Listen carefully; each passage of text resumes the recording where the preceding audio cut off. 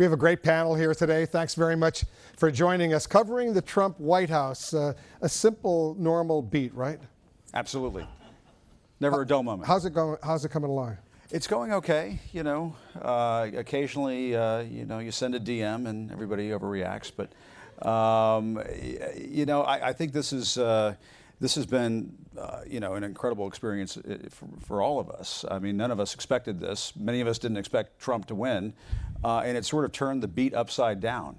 Uh, you know, the, the way that you used to think you had to cover the President of the United States kind of no longer applied uh, after he took the, the oath of office on January 20th, and it's been sort of that way ever since.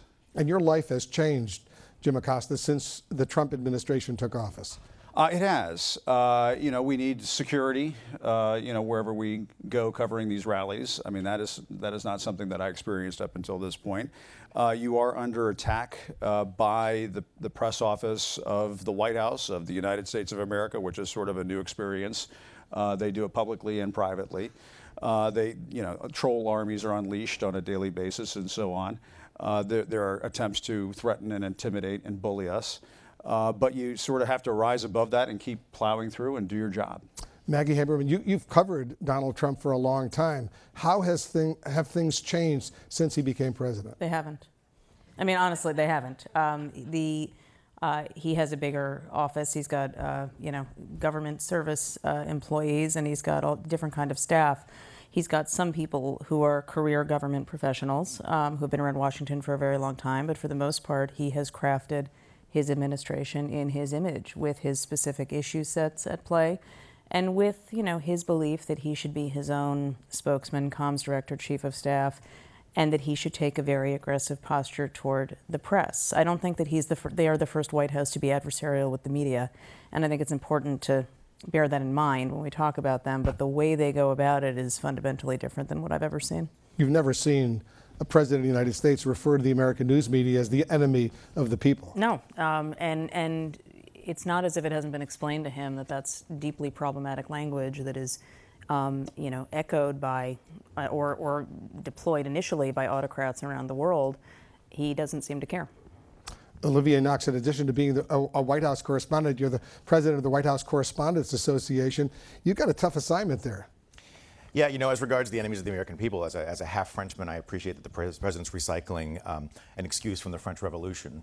Um, uh, but yeah, it's, it's difficult. I mean, one of the things people only know about it is, is our annual dinner, right? They don't realize what we do day to day. And what I spend about 20 to 25 hours a week on is mostly logistical. It's mostly about can we get the press into this event, to see this event, to ask the president questions.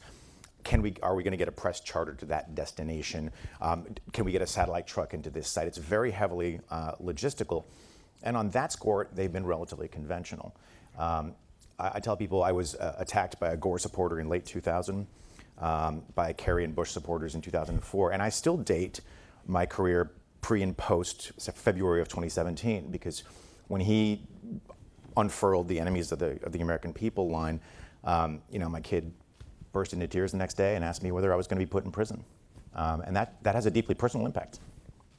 It, it's a pretty shocking development. Uh, how worried are you, as the president of the White House Correspondents Association, about the security of White House reporters and, and, and photographers? Uh, We're worried enough that we created a, a, a White House Correspondents Association committee to track threats against our colleagues and inviting all of our colleagues to uh, report to us if they, if they want to. Um, threats against them and uh, to connect them with organizations that have had historically more of a mission, like the, the Committee to Protect Journalists, for example, they can walk a reporter through step by step how they should respond to a given threat. So that's that's that's how much more worried we were. So when you, as, as the, the, the president of this association, speak with top White House officials and say, you know, you, the president should not be speaking like this, fake news, fake news, fake news, enemy of the people. Uh, what do they say when when they, he continues to do so? The general consensus is um, you know, I might agree with you, but there's nothing we can do.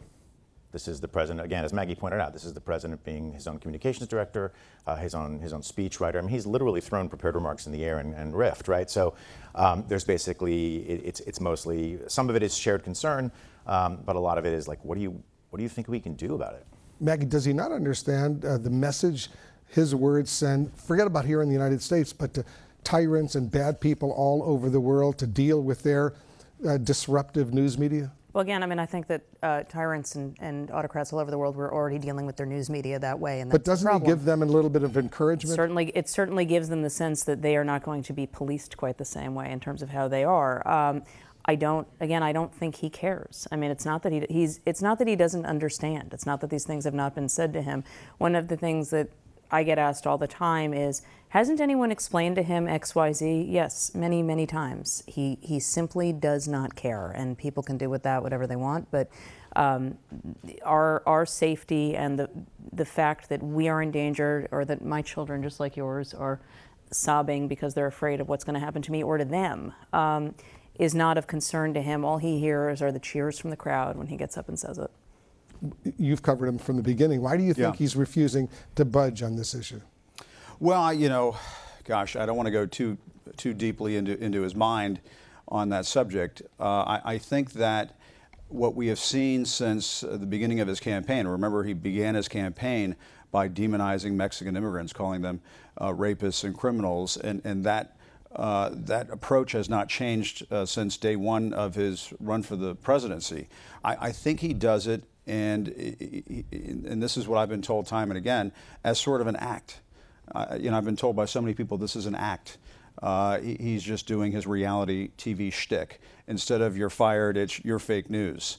But the thing that people don't get, and the folks at these rallies don't get, is that it's an act, and they think he's deadly serious, and so they pick, they take up the cause and they come after us. And just to pick up on what Maggie and, and Olivier were saying, uh, yes, administrations have had adversarial relationships with the press before. I've gotten my my uh, share of nasty grams from Josh Earnest and Jay Carney and so on. Uh, but this is a this is a whole other level. The United States of America is supposed to be the standard bearer for democratic values all over the world. And for the President of the United States to go around calling us fake news and the enemy of the people, uh, to me, it's just sort of I- you know, I, I don't understand why this is even a, a debate or a discussion for journalists. It's wrong. It should be labeled as such, and, and we just shouldn't. There, there shouldn't be. A, well, on the one hand, you know, I understand why he's doing this, and on the other hand, uh, I don't. To me, as journalists, we should all really band together with the understanding that we have to push back on this. This we, the- we have to we have to make sure it's it's known as much, much as possible, as often as possible, that we're not going to tolerate this. Yeah, but this is the problem: is that he thrived in a media environment for decades in New York City, where he pitted two tabloids off against each other, Yeah. and he actually was really successful at that during the campaign. And the mindset of the media is not to act as if we are all one. We are a very competitive group of people, and he uses our processes against us frequently and routinely. But don't, but don't you think, Maggie, that I, I agree that he's going to pit one against the other? I'm not saying it's good. I'm just saying No, I, I'm it's just hard. saying that, and but I, what I say to people is, and I have this conversation with folks, is okay, let's game this out. Mm-hmm. Let's game this out. Let's take it to the end of the process, and the process always ends with, well, we don't, we don't stick with with one another. We don't stand by one Sure. another. And who does that serve? Right. Who I- does that help? We're, What, what we're- we're cause saying, does that We're saying the same Yeah. thing. I no, no. I'm not It's just disagreeing very, with you. yeah, I'm It's just just very, yeah. it's very, very hard Yeah. to get a plurality of us to think that. Let me No, just I tell you, agree. as somebody whose job Yeah. technically it is to keep us unified. Sorry, Olivier. Yeah. I mean, Speak, it, would you? it, it, it Yeah. really is difficult. I mean, and Yeah. by the way, it has been difficult. Uh, it was hard under the, the, the Obama Right. folks were really good at slicing and dicing the press corps. You know, we'll let the photographers and no, photographers in and nobody else. Okay, we'll let the we'll let the cameras in and nobody else. We'll let the writers in and nobody else.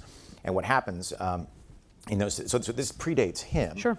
Um, but it is enormously difficult because we're all competing. Now, I, I would argue that actually we've been oddly some, filled with solidarity. Well, I think we've gotten there. Yeah. I think that's um, right. but it's it's a constant process of making sure everyone's on board with certain things, um, and it's not an easy one. And Olivier did an incredible statement the other day after the Trump rally in Montana uh, when Trump praised Gianforte for assaulting Ben Jacobs.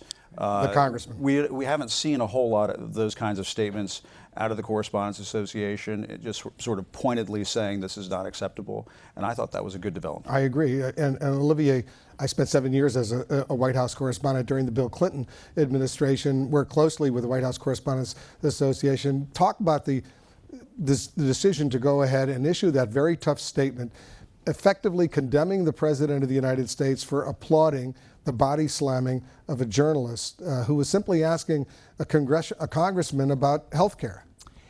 Well, first thing I- I'll say is I regret having taken Thursday night off. Um, having said, I'm just going to get a couple drinks with some friends. I'm not going to look at Twitter. I'm not going to look at my phone. I'm not going to look at email. Going to bed feeling good about humanity, and um, and waking Good up on waking up on Friday to a, a, a an iPhone that was steaming. My inbox was uh, so full of, of hot takes. Um, and um, you know, I, so I, I first, the first thing I did was I went back to look at exactly what he said because one of the things you discover when you become uh, the president of the White House Correspondents Association is that a lot of people want you to talk about a lot of things. Um, a lot of people want you to issue statements about a lot of things, and a lot of those people um, are wrong. And so you got to go back and see what what did he say exactly. Um, does this fit into our sort of traditional mission? And this was a hard one uh, on Friday in that respect, because as Jim points out, that we don't typically police the president's remarks in that in that kind of setting. Um, I had a tough conversation with my kid, who was sort of nervous and, and agitated about this latest, you know, encouragement basically to, to attack reporters.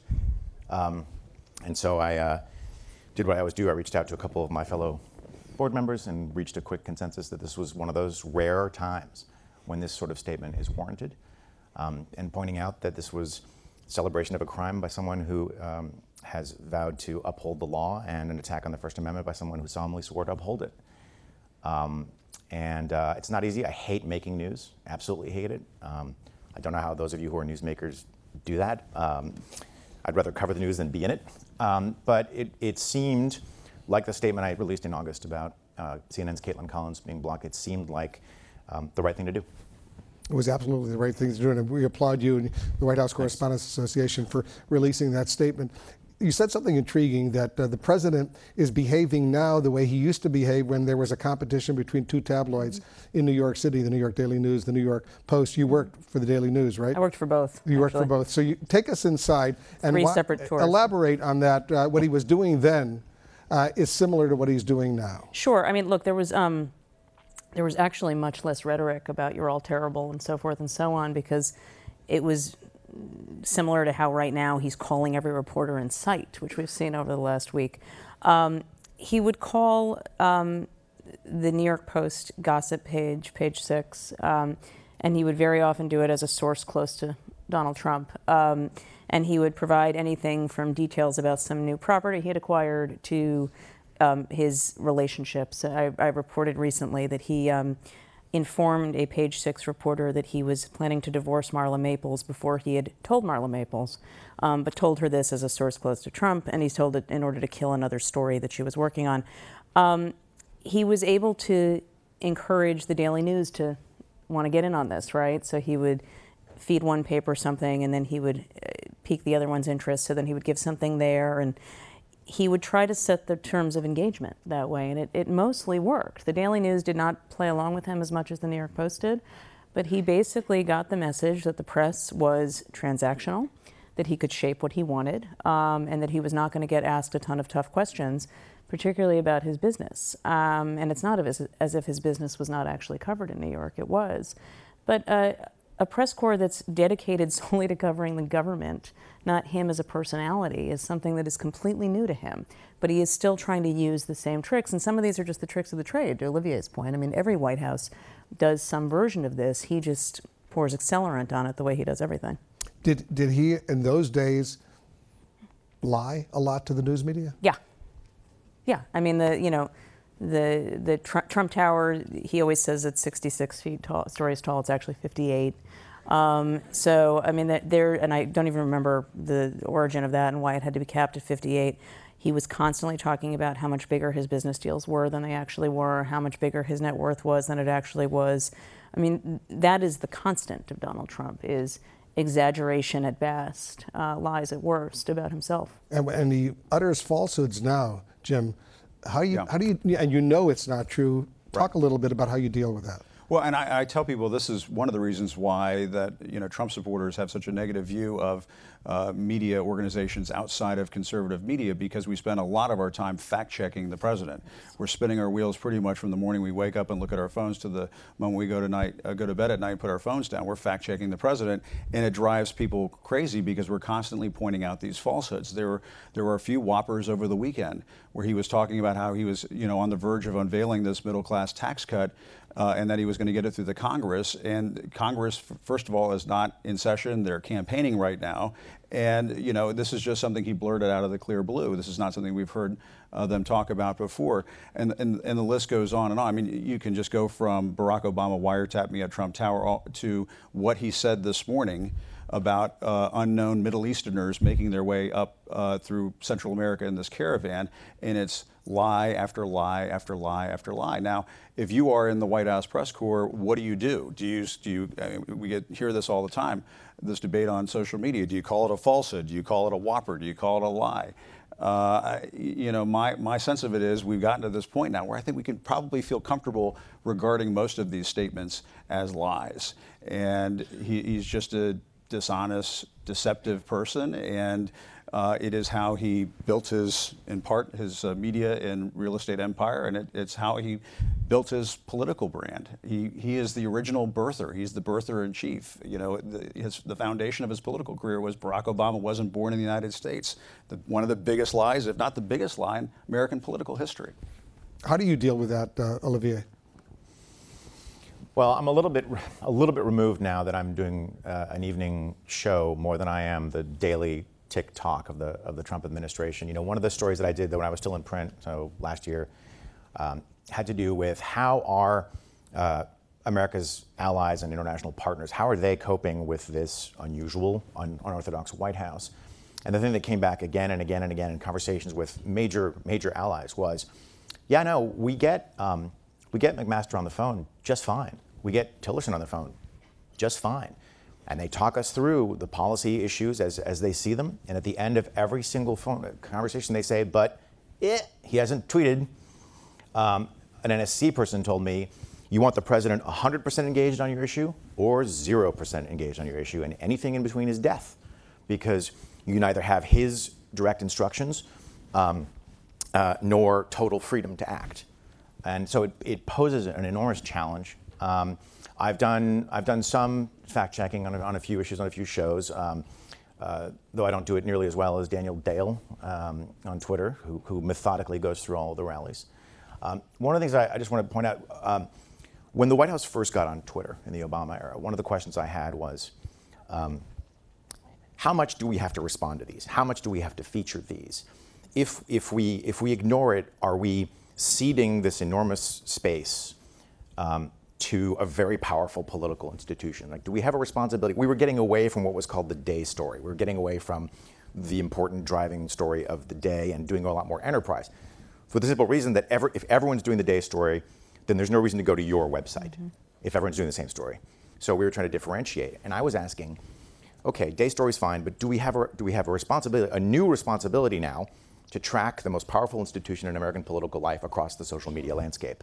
Do we have a responsibility to put whatever that is in context because they're reaching a sizable chunk of the American people directly. So, do we have a responsibility to say, President said this, here's where it's, here's, here's what it might mean, here's where it is correct, here's where we know it's not correct. Um, and I feel like this is, you, know, you referred to an accelerant earlier.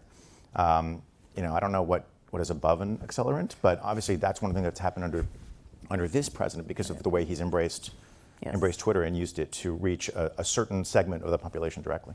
You know, Maggie, it's it's fascinating. He clearly has this love-hate relationship with the New York Times and the Washington Post, for that matter. Goes after the Jeff it's Bezos. Not the, it's not the, the same. But the New York Times is obviously very, very special. yeah. The failing New York Times. Right. He keeps calling it the failing New York Times, but he often wants to call up a reporter and do an interview with the New York Times. Talk about that.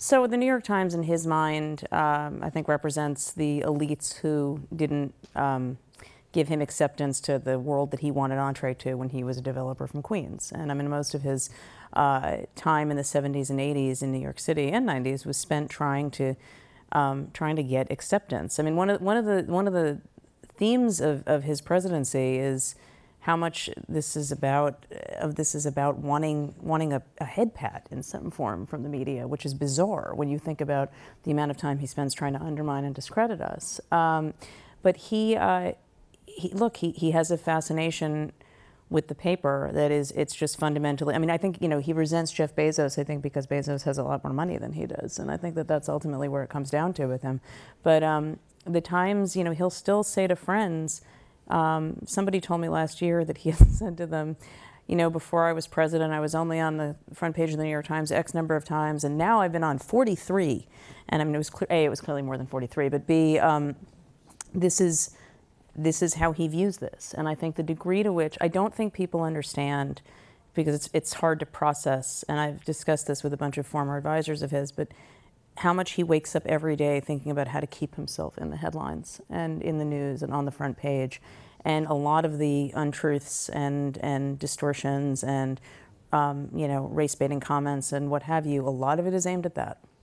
When I was a White House correspondent, this was during the, the, Bill Clinton administration, almost every working day there would be a White House press briefing on camera. Uh, you know, uh, Joe Lockhart would, would brief, Mike McCurry would brief. We, we would have that almost every day. Recently, I think this month, what there's been one, Yeah. or maybe two over the past two months. But We've started on the hanging plants in But the- on the the other hand, uh, the president is meeting with reporters. He's doing a lot of interviews. He's stopping at gaggles. He's walking out. He's answering reporters' questions. Uh, what's more productive? Uh, listening to Sarah Huckabee Sanders answer questions at a White House briefing or hearing directly from the President of the United States? I wouldn't put productive and a Sarah Sanders briefing in the same sentence. Um, but uh, to me, and, and uh, Olivier can speak to this as, as, well, there, there used to be a, and you know this, Wolf, there used to be a functional purpose to the White House briefing. Everybody would, everybody would gather in and, and ask sorts of, all sorts of different policy questions, and the, the uh, press secretary would come out with a big briefing book and, uh, and would theoretically have answers to most of our questions. Uh, my understanding, and I've talked to somebody recently about this, is that on days that they have briefings, they'll start briefing Sarah Sanders or Sean Spicer at 5:30 in the morning, getting their, them prepared for these briefings. They'll spend hours and hours putting these briefing books together, and then they'll walk into the room and not use any of the material because what they would rather do is perform for the president. They would rather spar with individual reporters in the briefing room uh, to his delight, uh, because that's essentially what they see as a, a way to maintain their job security. Um, but I mean, uh, the way that the White House briefing is supposed to work is we're supposed to get answers to questions on a variety of fronts: foreign policy, economic issues. Uh, you know, we have we have reporters who come in from uh, Bloomberg and Reuters and uh, you know all sorts of different wire services, uh, and they're all expecting answers to various uh, questions. And Sean Spicer, for example, when during his reign, couldn't even pronounce Bashar al-Assad. I mean, that's how much they were struggling with the with these types of questions. Um, you know, my sense of it is is that the White House briefing should come back, but as Maggie was saying, Trump likes to be his own communications person. The thing that he's been doing lately, and, and this is something that's rather remarkable. You see this on TV now, he'll, and you see this, Wolf, because we I'll come on your show and talk about it. He'll do these South Lawn departure uh, press gaggles. Well, he'll walk out onto the South Lawn of the White House and start taking questions from reporters. What, why does he like to do that? One reason why he likes to do that, we can only hear him and you can't hear any of the questions. The, the, the, helicopter is making so much noise, Marine One is making so much noise, you can't hear any of the questions from the reporters unless we remember to, to put a lavalier on before we go out there. And so you'll hear Donald Trump just sort of go from one reporter to the other, answering questions the way he wants to answer them, making things up as he goes along, uh, and sparring with individual reporters before he gets on Marine One. You put it in the briefing room, and I've said this to various people at the White House. You know, if you tell Donald Trump that they've done various movies and TV shows in the briefing room, he might find it interesting to go into the briefing room, or he might find it interesting to allow, allow us to have briefings again. Um, but I think that they've just decided, and uh, Bill Shine is a, a part of this decision making, that Trump is a better spokesman than the press secretary, and they, they just get into too many thickets if they open things up to reporters. He, in that he's the briefing room. communications director The over at the White. House. Uh, Exactly. But it, but all of us as journalists, we welcome Maggie the fact that the president's spending more time answering reporters' questions. Look, I, I, I don't like the idea that there are no briefings, but I have to say that if I had to pick which one I would rather in this administration, I would rather just ask him questions. course. Um, because uh, he's going to be the one setting the policy or not, regardless. What I what I do find frustrating, and I and I he's I think answered something like 300 questions over the last couple of weeks. But to Jim's point, they're done in a, there's a reason that they don't do formal press conferences, and it's because we would all have time to prep, we would all have time to kind of negotiate how we were going to ask certain questions and make sure that we would get the the clearest answer from him. We would make sure we weren't wasting questions. Um, he tries to benefit from the element of surprise. So that's why he'll just call up a reporter because the reporter isn't necessarily expecting to hear from him. It is all fundamentally always on his own terms. Um, and, and that is what I think we have to uh, do our best to try to avoid. You want to weigh in, Olivier? Yeah, I, uh, let me say a, a, a kind word for um, for Sean Spicer, which is that the Skype seats, the idea of bringing in some number of local or regional reporters to ask um, about matters of local or regional uh, import, I thought that was great. Yeah, me too. Um, when uh, when Sarah brings in a senior administration official connected to the headlines into her briefing, I think that's great. Me too. Um, one of my, one of the best briefings, just pers- from my personal interest, one of the best briefings I've seen at the White House in 20 years was when they brought in the people from the Pentagon who are responsible for the sorting and identification of human remains mm-hmm. coming from North Korea. It was relevant. It was interesting. Um, you know that that kind of stuff I think is, is, has a lot of value. The briefing is great in part because smaller outlets, the ones who don't have senior officials on speed dial, smaller outlets or specialized outlets can sometimes get in a question. Ditto the foreign press, and these folks either don't go to the departure or they don't get called on at the right. departure. And for those folks, the, the briefing is a is a really is a significant loss.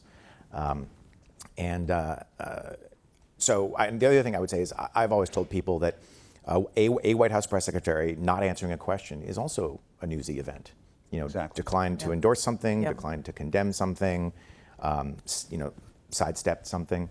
Um, so I think they have. I think that they have a lot of value, and um, you know, uh, you have to allow for the fact that every presidency customizes communications based on what they view as their own strengths, and it's very clear they've decided that he is, in fact, their, their best, uh, strongest voice. I want you to elaborate on something you said, Jim. Uh, mm. take us inside one of these uh, President uh, Trump political rallies. He's got 10,000, yeah. 15,000, 20,000 people. Tonight he's going to be in Texas at this huge event uh, for Ted Cruz. Uh, Wish I could get there in time. Yeah, well, you're not going to make it tonight. But what's it like being in that in that pen, uh, that closed off area surrounded by all these very, very ardent Trump supporters? Uh, I, am going to try to use some great restraint in describing this. Um, in part because, and, I, and, and, maybe I shouldn't be so upfront about this, but I, if you want to ask me what makes me the most depressed about my job, it's covering the rallies and it gets to the larger point of what it's like covering the President of the United States, and, and in particular Donald Trump. In many ways, the danger is not what Trump is doing to America. The danger is how America is changing under Trump. And I never thought I would see the day where I would go to a political rally, and you know, people would give you a hard time. I, you know, people yelled at me at Hillary Clinton rallies during the 2008 campaign. Uh, you know, that would happen from time to time. And, you know, and during Mitt Romney, you know, people threw things at me and asked me, why didn't you call, why didn't you ask about Benghazi or do a story on Benghazi? That happened when I covered Mitt Romney. But at rally after rally after rally, having the President of the United States whip people up into a frenzy and attack the press, to me, is the, the, mo- the most depressing thing that I've ever witnessed as a journalist. And what it's not so much that the president is doing it, is that you have thousands and thousands of people who are willing to join in uh, and, and, do the same thing. Um, at the rally in Montana the other night, with Greg, uh, when President Trump praised Greg Gianforte um, for body slamming Ben Jacobs, I remember looking over to the supporters in the crowd, and there was one guy, one young man, who was doing these body slam moves, you know, and, and he and his buddies were all getting a good laugh out of it. And then he looked at me and he goes like this like I'm going to cut your throat. And, you know, just, it, it, I, I went up to him after it was over and I talked to him about it, and, and he was just sort of laughing about it, and it, I, I guess he wasn't serious about it. But to me, that's the Trump effect on America. It has normalized and sanitized nastiness and cruelty in a way that I just never thought I would see before. And when I was at that rally in Tampa, and there were people, you know, screaming and yelling at me, it just it felt like we weren't in the United States anymore. And I, you know, I suppose maybe I, I shouldn't talk about it. It's, it's, a sensitive subject. Trump people get mad if you paint them with a broad brush and so on. But I, I'm a strong believer, and we have this internal debate at CNN. I'm a strong, strong believer in holding up the mirror to the country and showing people what's happening to America. And I think that's the healthiest way for us to get through this. What, what are they screaming at you? Uh, they're, they're screaming fake news, enemy of the people, go home, Jim. You know, words that you know one shouldn't use in public. Um, uh, you, you know, it, it, it is, it's undoubtedly, without question, the most disturbing thing I've seen in, in at a political event in my life. Uh, seeing this happen at rally after rally after rally. And you know, some of these folks are nice. And they want to come take a picture with you, and I'm happy to do that. You know, there, there's some of my colleagues and so on say, "Why do you talk to them? Why do you engage with them?" Blah blah blah. My sense of it is, is that you lower the temperature in the room, you calm people down. The more you engage with them, and in some cases, you're sort of calling their, their bluff, and they'll let down their guard, and you'll start having a conversation about it. Um, but but this going after the press business at these rallies, and I've said this to Trump people from time to time. It, it has to stop. I'm afraid somebody's going to get hurt. And there is there is security there. There is security for us. Yes. You know what worries me, Maggie, as someone who's you know been around for a while, the the young reporters who go out there, the young producers, the young reporters, the young uh, photographers, the technical people uh, in their 20s, early 30s. Uh, you know, th- these people are very scared when they see this kind of stuff. Look, I, I began my reporting career um, uh, working for tabloids um, and running from one of the falling twin towers. So this doesn't actually feel as scary to me. But I do think that um, a lot of people, this is their first interaction. To your point, I think people are out on the road much younger now than they were when I was starting out in this business. You had to start out doing other jobs before you were covering a president, and now because of digital and the fast pace of news, we all end up in them in different, you know, at, at earlier uh, ages in our lives. Um, there's not a great answer, right? I mean, it is, it is, it is scary. I, to be clear, it's not that I don't find this scary. I don't think it's the scariest thing I've ever seen. I think it is a really disturbing thing, and one of the more disturbing things that I have seen. Um, and the degree, the the the lust with which people join into these uh, chants that he's doing. There's no great answer other than to just keep doing it. Um, but I will say that I was wearing my credentials at a, a rally in the South that the president did a couple weeks ago and I didn't even realize I was wearing them. And a couple of other reporters said, I'm really surprised that you're wearing your credentials because we've stopped wearing ours. And because people would ID you and start and start screaming. I mean, sometimes what happens is the president will also then go on these deeply personalized riffs. So he went on one about me at one of the Southern rallies, but he didn't name me, um, which I was told later he thought was some some gesture of goodwill. Um, but uh, but he uh, you know, he's going on and on about some grievance that he has with the press, and the crowd has no idea what he's talking about. I mean, so a lot of times there's a there is a yes, he can whip you up, whip up the crowd with, you know, look at those cameras in the back, but then he gets on these kind of like, you know, these these rants and, and, and, and tirades and tangents that only he really understands, and it's it's weird to watch and it's extraordinary to see that. Uh, you know, you've been around Olivier for a while, me too. Uh, I don't remember a time when the press at a rally like this would be, especially the younger reporters, would be so scared. Yeah, we had a couple of bad scenes in the Bush reelect. Um, mm. Where there, there was a the, one rally in North Carolina in particular. There's something called the chute, which is between these two bike racks, because they, would station the press in the middle of the rally, um, you know, behind these sort of bike rack enclosures, and they had what's called the chute. And the chute gets you from the outside where the press bus uh, pulls up into that work area where they've got power and phones and the rest of it. And they'd kind of they'd made the chute really narrow and through this very angry crowd. And um, this one guy was spitting on as many reporters as he could, mm. and he made one mistake, which is that he um, he hit uh, uh, he yelled it right in the face of Patsy Wilson of Reuters, who was actually one of George W. Bush's preferred reporters. Word got back up hmm. the chain. Um, the chutes got wider and mm less scary. Um, and I don't know that we get that level of attention to detail today. We're out of time, uh, but very quickly, everybody, we'll start with you, Olivier. What, what's one thing you wish uh, your readers and your viewers and your listeners knew about the work you do that maybe they don't know? Uh, how much covering the president means not covering the president means talking to Congress, means talking to agencies, means talking to embassies, means talk, talking to think tankers, means that, that it's the end all and be all is not the, the moment when he's in front of Marine One taking questions. It's not the briefing. It's not, uh, it's not any of that. It's all this other background work that we do all day. You know, people make fun of us for, for saying we wish the briefing uh, were back. But I want to emphasize it, that is just one part of this really complicated thing. Basically, we are looking for overlap of information, but not overlap in interest in keeping the information secret. That's right. Yeah, I, just to, to piggyback on that, I think that's exactly right. I think that people have a misconception, and I think the president has certainly helped foster this, that we're all sitting around waiting for like our Oppo handout or our phone to ring, and that's just that's just not how we do our jobs. And most of us are working the phones all day long and spend a ton of time trying to make sure that there is um, a lot of backup to everything we put in the paper. Uh, the thing I would say is, uh, and this is directed would be directed at, at the Steve Bannons of the world, uh, who think we're a bunch of elitists. Uh, I was raised by a single mother. My dad is a Cuban immigrant. Uh, I put myself through college. Uh, I worked my way up uh, through Knoxville, Tennessee, and Dallas, and Chicago, and local news before going to CBS and then on to CNN. Uh, you know, I, along with my fellow journalists who cover this White House press corps, we come from all walks of life. And, you know, think twice uh, before you demonize that person that you're sitting across from or standing across from at a Trump rally. We might be more like you than the president is.